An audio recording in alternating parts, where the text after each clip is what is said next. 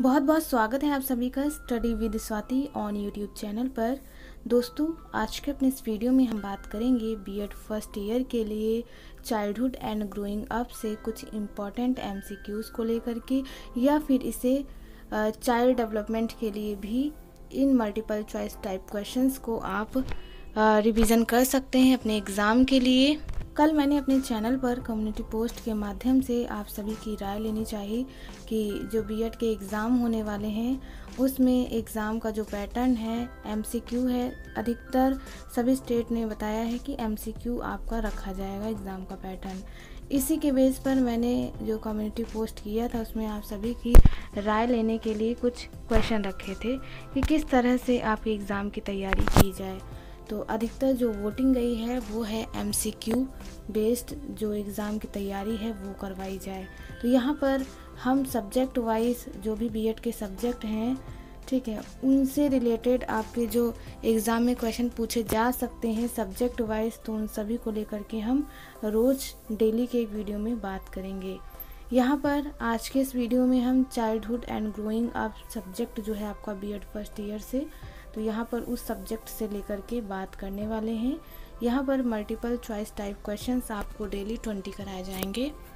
इन सभी multiple choice type questions को complete कराने के बाद कुछ हम इंपॉर्टेंट क्वेश्चन आंसर को भी देख लेंगे, जो आपके प्रीवियस ईयर में पूछे गए थे आपके एग्ज़ाम में।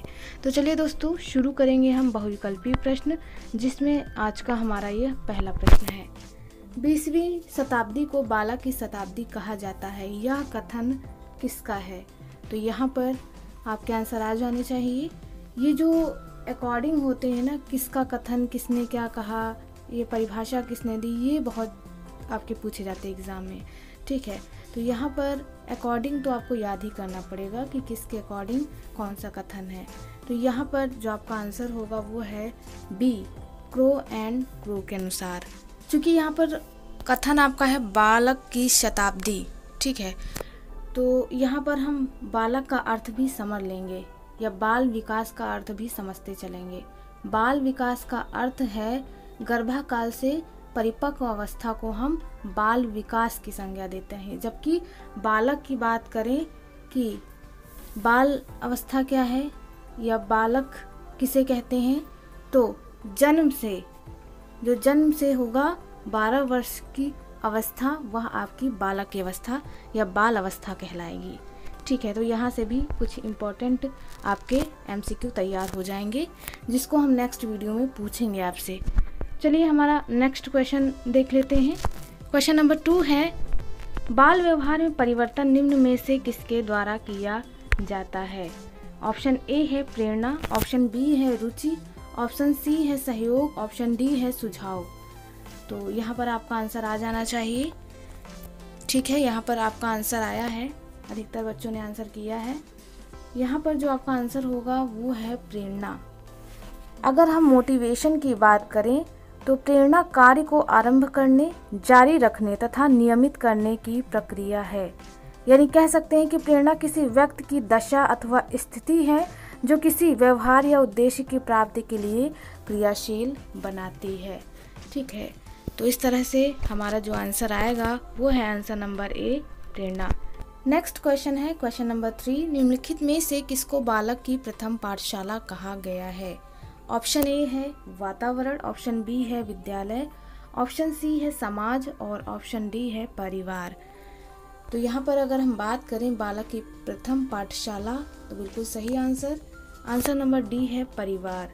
तो दोस्तों, अगर हम परिवार की बात करें तो ये समाज की प्राथमिक इकाई है। ये भी क्वेश्चन कई बार पूछा गया है, ठीक है? तो यहाँ पर जो बालक की प्रथम पाठशाला कहा गया है, वह परिवार है, क्योंकि जो बालक होता है, सबसे पहले कहाँ से सीखता है? परिवार से। जब बालक छोटा होता है, ठीक है तो वो परिवार में ही रहकर चीज़ों को सीखता है, उसके बाद समाज में समाज से, समाज के कई सारे अंग हैं, विद्यालय है, समुदाय है, ये सब समाज के अंग हैं।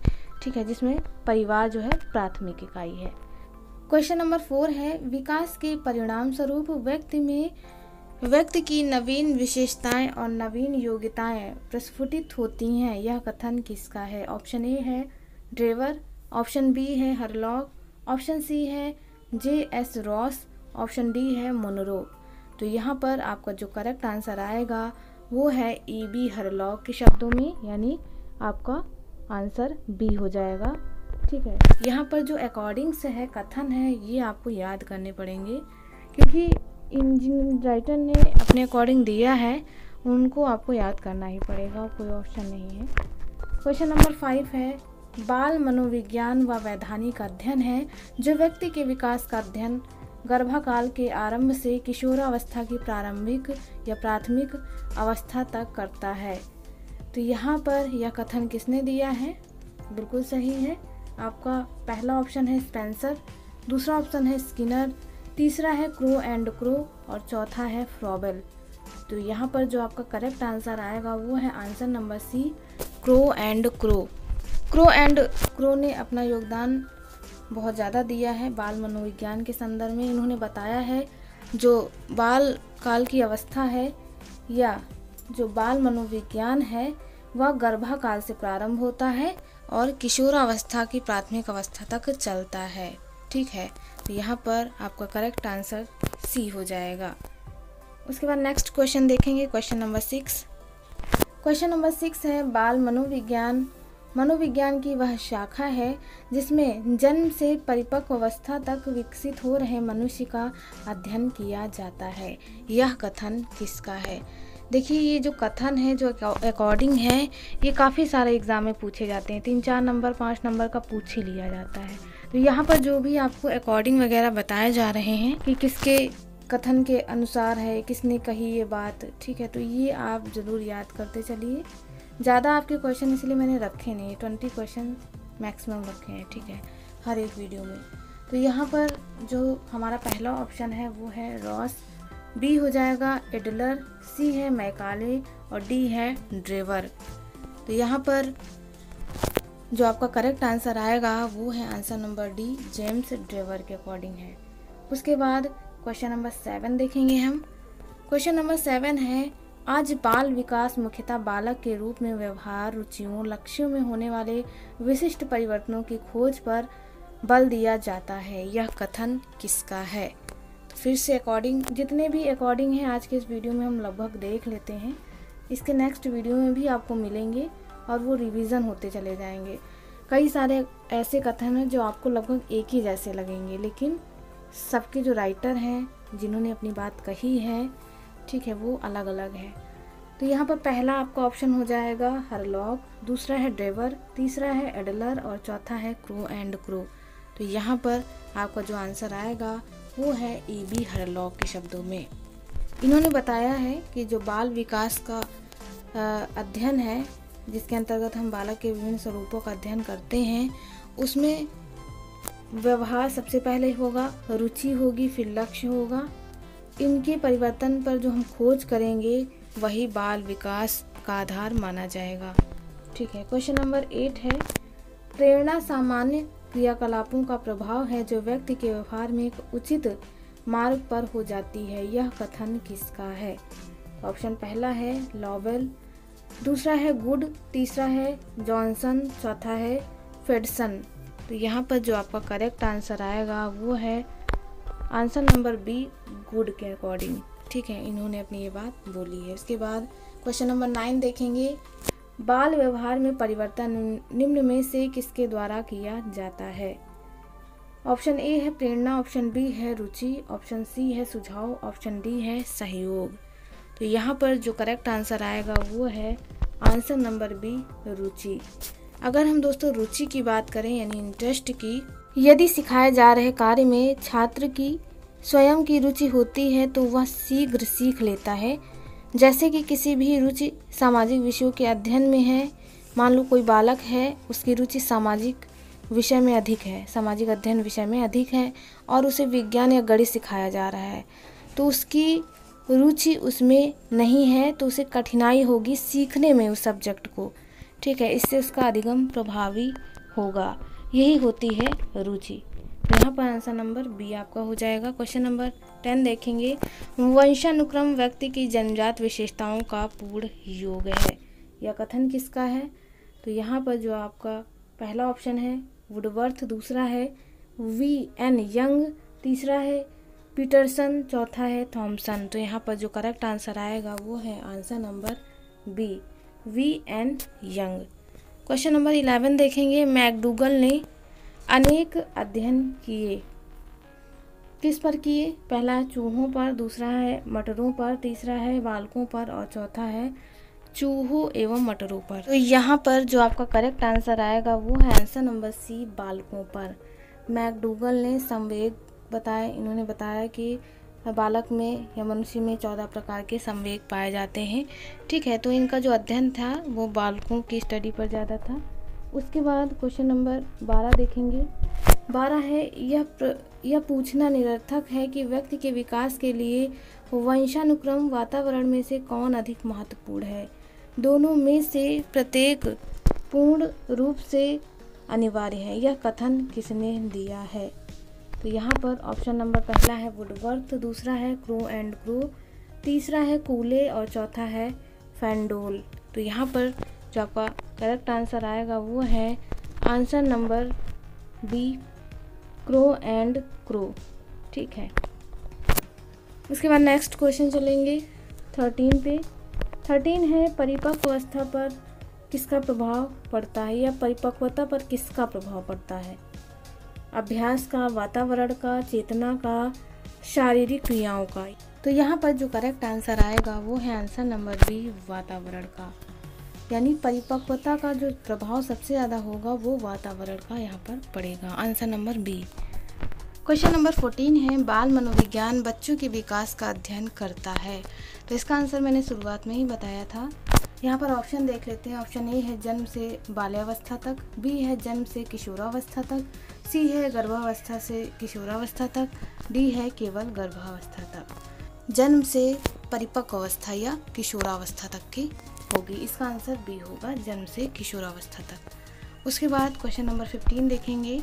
क्वेश्चन नंबर फिफ्टीन है, सफल शिक्षक वही है जो बच्चों के विषय में यहाँ पर ऑप्शन दिया है ए कम जानकारी रखता है बी अधूरी जानकारी रखता है सी संपूर्ण जानकारी रखता है और डी है, इनमें से कोई नहीं। तो यहाँ पर जो आपका आंसर आएगा, वो है आंसर नंबर सी संपूर्ण जानकारी। एक सफल शिक्षक जो होगा, वो अपने बच्चों की संपूर्ण जानकारी रखता है। उसके बाद नेक्स्ट क्वेश्चन देखेंगे। क्वेश्चन नंबर सिक्सटीन है बाल्यकालीन शिक्षा की जानकारी हमें कहाँ से मिलती है? पहला है समाज शास्त्र द्वारा, दूसरा है तर्कशास्त्र द्वारा, तीसरा है मनोविज्ञान द्वारा और चौथा है उपयुक्त तीनों के द्वारा। यहाँ पर जो आपका करेक्ट आंसर आएगा, वो है आंसर नंबर सी मनोविज्ञान द्वारा। क्योंकि इसके अंतर्गत हम बाल विकास के विभिन्न पहलुओं का या बालक के विभिन्न पहलुओं का अध्ययन करते हैं। करेक्ट आंसर सी हो जाएगा। क्वेश्चन नंबर सेवेंटीन देखेंगे। बाल विकास की अवस्थाएँ होती हैं। यहाँ पर ऑप्शन फ़र्स्ट है, तीन सेकंड है फोर थर्ड है टू और फोर्थ है फाइव तो यहाँ पर जो करेक्ट आंसर आएगा वो है आंसर नंबर ए थ्री अगर बाल विकास की अवस्थाओं की बात करें तो पहला है शैशवावस्था दूसरा है बाल्यावस्था, तीसरा है किशोरावस्था। जिनमें पहली होगी ज़ीरो से पाँच वर्ष, फिर छः से ग्यारह वर्ष या बारह वर्ष और फिर ग्यारह से अट्ठारह वर्ष। इनकी अवस्थाएँ हैं। उसके बाद क्वेश्चन नंबर एटीन है, किशोरावस्था, इनमें से कौन सी होगी? ए है छः से दस वर्ष, बी है ग्यारह से अट्ठारह वर्ष, सी है उन्नीस से बाईस वर्ष, डी है बाईस से तीस वर्ष। तो अभी इसका हमने करेक्ट आंसर बताया था। ऑप्शन नंबर बी हो जाएगा ग्यारह से अट्ठारह वर्ष। कभी कभी क्वेश्चन में ये पूछ लेता है कि पूर्व किशोरावस्था किसे कहते हैं? तो ग्यारह से चौदह वर्ष की अवस्था पूर्व किशोरावस्था होगी और उसके आगे की अवस्था यानी चौदह से अट्ठारह वर्ष मानी जाएगी। ठीक है? ये हो गया आपका question number eighteen question number nineteen है, बुद्धि के आधार पर प्रतिभावान प्रकार के होते हैं। कौन होते हैं? तीव्र बुद्धि वाले श्रवण दोष वाले, सामान्य बुद्धि वाले, दृष्टि दोष वाले। तो यहाँ पर अगर हम बात करें बुद्धि के आधार पर प्रतिभावान बालकों की बात करें तो तीव्र बुद्धि वाले होते हैं। इनकी जो बुद्धि लब्धि होती है वह 120 से ऊपर की मानी जाती है। तो जब बुद्धि के चैप्टर को लेकर के हम बात करेंगे तो उसमें आपको बताएँगे कि सामान्य बुद्धि सामान्य बुद्धि की बात करें तो आपकी 90 से 100 या 110 के बीच की होती है। ठीक है? तीव्र बुद्धि मैंने बता दिया 120 से ऊपर की जो बुद्धि होती है, वो तीव्र बुद्धि होती है। बाकी दोनों तो आपके श्रवण दोष और दृष्टि दोष हैं, ये विकार होते हैं। उसके बाद क्वेश्चन नंबर ट्वेंटी देख लेते हैं। प्रतिभाशाली शब्द का प्रयोग उन एक प्रतिशत बालकों के लिए किया जाता है जो सबसे अधिक बुद्धिमान होते हैं। यह कथन किसका है? तो यह कथन की बात करें तो यह स्किनर महोदय का है। रिकॉर्डिंग था तो इसलिए मैंने बता दिया। ठीक है तो आज के इस वीडियो में बस इतना ही। तो उम्मीद और आशा है आप सभी को हमारा यह वीडियो पसंद आया हो। अगर आपको यह वीडियो पसंद आया तो प्लीज़ कमेंट द्वारा ज़रूर रिप्लाई करें। कि आपको आज का वीडियो कैसा लगा, ताकि मुझे भी मोटिवेशन मिले और मैं जो नया चैप्टर है या नया सब्जेक्ट है, उस पर कुछ और एम लेकर आऊँ। तो आज के इस वीडियो में बस इतना ही। मिलते हैं अपने एक नेक्स्ट वीडियो में, एक नया टॉपिक के साथ। तब तक के लिए आप सभी का बहुत बहुत धन्यवाद। Thank you friends keep watching and share to others